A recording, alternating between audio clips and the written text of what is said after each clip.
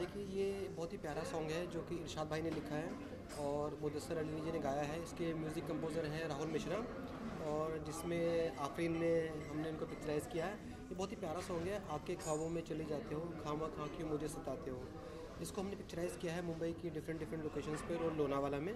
और मुझे लगता है कि ये इस फ़िल्म का बहुत ही बेहतरीन सॉन्ग है और मेरे दिल के बहुत करीब है। आफरीन जी आपने इस फ़िल्म में एक्ट भी किया इस गाने में एक्ट किया है। Yes. क्या कुछ कहना चाहेंगे?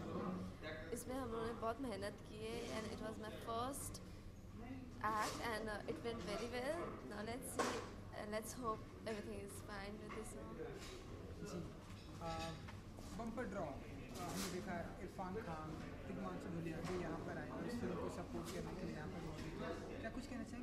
सर ये बहुत ही अच्छा प्लेटफॉर्म है बम्पर ड्रॉ के लिए क्योंकि सभी इतने दुरंदर धुरंधर लोग इस फ़िल्म के फ़र्स्ट लुक पर आए तिगमांशु जी इरफान सर और इशाद भाई ने बहुत ही अच्छी फ़िल्म बनाई है ये और हम उम्मीद करते हैं कि ये फ़िल्म रॉक करेगी Afreen ji When I hope the film rocks and that's it. Bumper draw के बारे में हम जानना चाहेंगे कि फ़िल्म का नाम है बम्पर ड्रॉ अक्सर लोग मुंबई में आते हैं बम्पर ड्रॉ या लकी ड्रॉ इस तरह की चीज़ों में अक्सर हाथ आजमाते रहते हैं। तो आफरीन और अमित जी ने कभी इस तरह की कुछ नहीं नहीं। कोई नहीं। हमने हमने ऐसा हाथ कभी नहीं आजमाया। हम चाहते हैं कि हम अपनी मेहनत से हाँ। अपनी लाइफ को बम्पर ड्रॉ बनाएँ हाँ same. अम, और फ़िल्म की कितनी एक्सपेक्टेशन हम करें?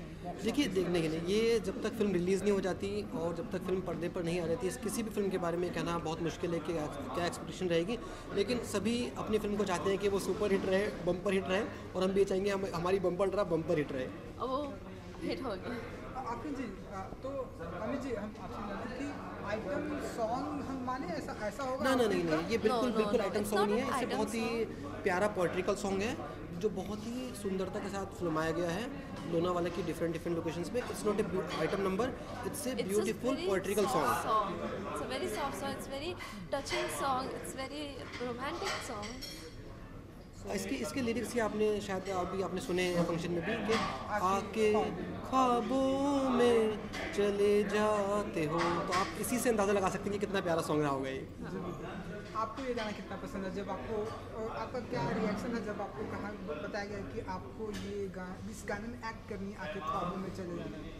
Uh, मैं बहुत खुश थी and I am very happy to act in this song and I him for all the preparations of the song and we did very hard work in this song. Okay